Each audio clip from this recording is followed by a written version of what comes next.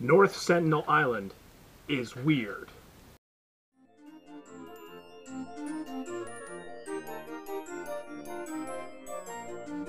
Isn't that weird? Yes. Hi. Uh, Whoa. Hello again. Whoa, hang on. What's up? Welcome to Isn't That Weird? New show, starting to do. It's quarantine times, trying to keep you engaged. And maybe even learn a little bit, because let's be honest, you're not necessarily learning a whole lot from my Nailed It videos, because most of that is just me screwing up and telling you what not to do. So I guess you are learning. Educational in that way too. But this, this is going to be basically things that I enjoy or found out that are weird. Isn't that weird? Name of the show and what it's about. So what did I said? North Sentinel Island. Have you ever heard of it?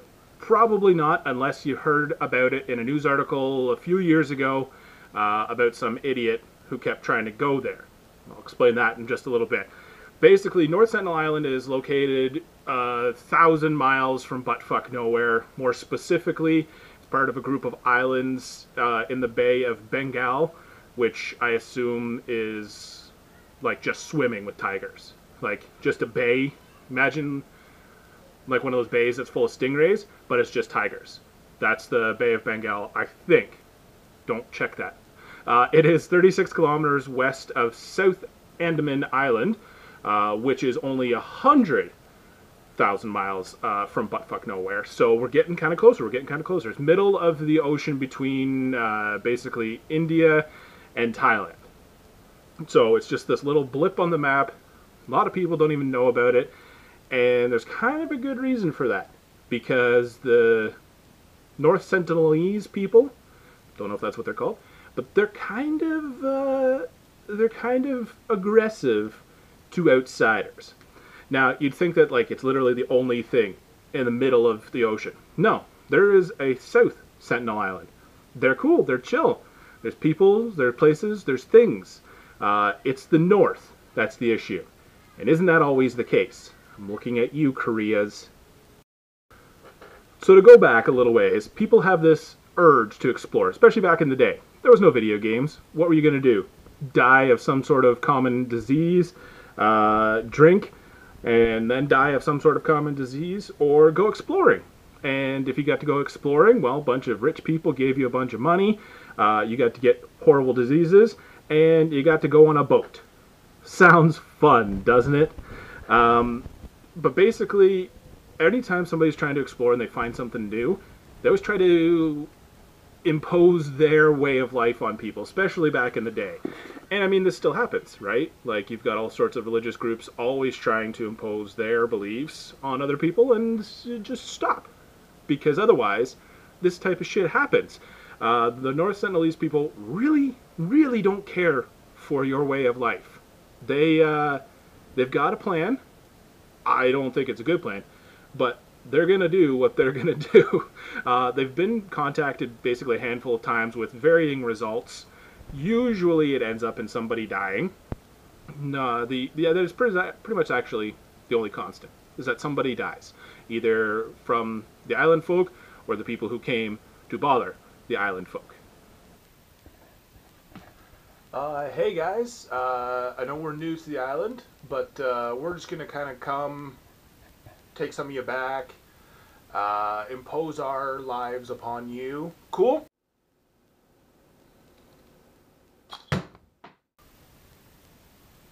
Okay then. They don't even have an actual number of how many people are on this island. It's not a very big island, but there's somewhere between one dude sitting in the bush and like 400 people, depending on which census you believe or what you think is actually there. I'm gonna make an educated guess that there's like 20 to 30 people on this island. What's that based off of? Absolutely nothing. Just the fact that I'm wearing a captain's hat, so I must know, right?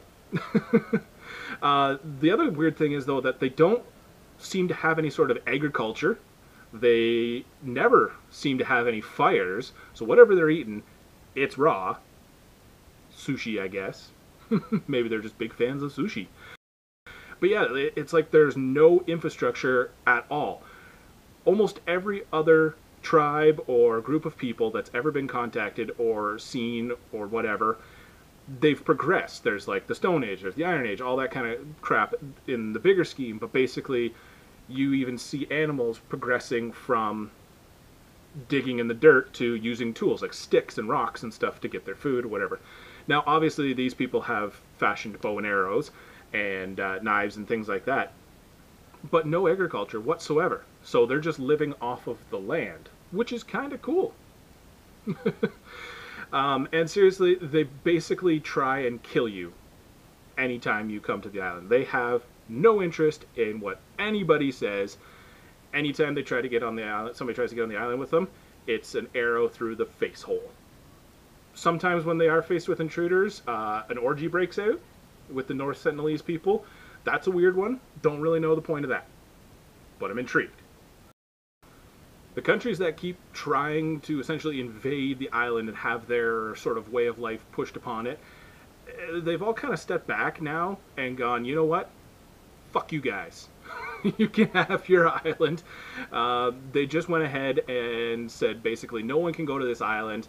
Leave these people alone, which I think is kind of cool. Like, obviously, these people don't want to be integrated into anybody else's life, and they've had pretty bad run-ins. Some of the early explorers actually took like a bunch of them off the island, and then like the parents died, and then they put the kids back on the island, which is kind of a dick move, I think. But yeah, basically everybody said fuck you, and the North Sentinelese said no, fuck you. So in the end, it's this crazy microcosm of a world that honestly most people probably assume doesn't exist anymore because everything's so westernized and everything like that. This is a group of people who've never gone past like bow and arrows, not even really gotten to the fire stage of life. Um, they've never even heard of a microwave oven. And that's pretty cool. It's pretty cool to have something like that that still exists in this day and age. The only downside is that they'll never get to watch Tiger King. And isn't that weird?